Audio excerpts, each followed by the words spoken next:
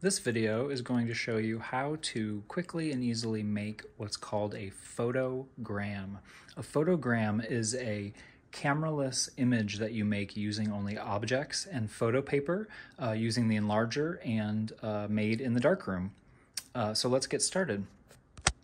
I am uh, here at this uh, regular Nikkor enlarger that I demoed, uh, uh, showed folks how to use in a previous video.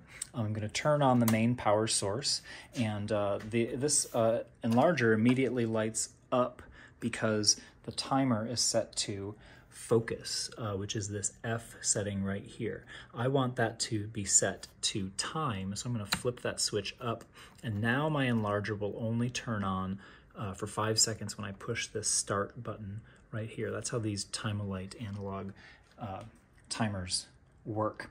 I need to turn on the safe lights. So go over here. I'm going to turn on the bottom switch, safe lights, and I'm going to turn off the fluorescent light switch uh, so we get this red glow. And you'll notice that if I flip this back to focus, I get this rectangle of light. And that's important uh, because I need the rectangle of light to be big enough to cover the paper that I'm using. Um, this easel, which we'll use later in the term, is 8 by 10 which is the size of my paper, which is here in this box. And um, I need to make sure that this rectangle is gonna cover that. So I'm gonna raise this up a little bit to make it a little bit higher and I'm gonna make it as bright as it will go. Uh, remember you can turn the lens, the uh, dial on the end of the lens to make your enlarger brighter. When I'm ready uh, to expose my paper, I turn everything off, uh, the timer, I mean, to get the light off of there. And I need to do this one-handed. Um, this is Ilford paper, uh, courtesy of Jenny and Ryan, who left this behind. Um, I do not know who Jenny or Ryan are, if either of you are watching this video, um, please email me uh, and claim your prize um, because I think that would be a funny story. This is a fresh box of paper. I'm going to take out one piece.